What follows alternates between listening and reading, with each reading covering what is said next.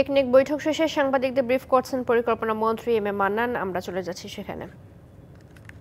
আমাদের রাজধানী এবং আমি পেপার পড়ে দেখি যে ময়লা, নোংরা, খাল, দখল, এগুলো খুব ভালো আইটেম এবং এখানে কোনো ফরেন কারেন্সি ইনভলভমেন্ট নেই এবং আপনারা একটা কথা বলেন যে রাজে এসে চুলো বাঁধে, পরিষ্কার থাকতে হবে তো দুটোই আমাদের আমরা তো সকল অর্থনৈতিক কর্মকাণ্ড বন্ধ করিনি, আমরা বলছি সিরিয়াসলি রিডাইরেক্ট করা।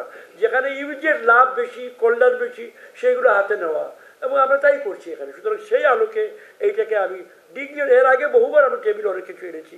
সেই সুবাদে এইটা আমি এখানে নিয়ে আসছি। আমার সহকর্মী স্বাধীনতা মন্ত্রী মহোদয় অনুরোধ করেছেন ভেরি রাইটলি এবং মেয়র মহোদয় অনুরোধ করেছে ভেরি রাইটলি এবং আমি পড়ে দেখেছি যে এটি ইউজফুল কাজে লাগবে।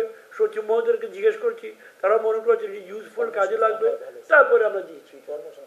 কর্মসংস্থান হবে বিজয়ীটা এই সময়ে ইত্যাদি ইত্যাদি। ধন্যবাদ।